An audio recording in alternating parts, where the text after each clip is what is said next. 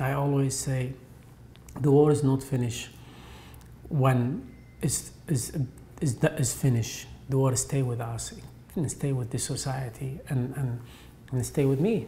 I'm the generation of Iraq and Iranian war, the war in 1991, the 2003, the sectarian violence, the ISIS, all of that has been affecting us.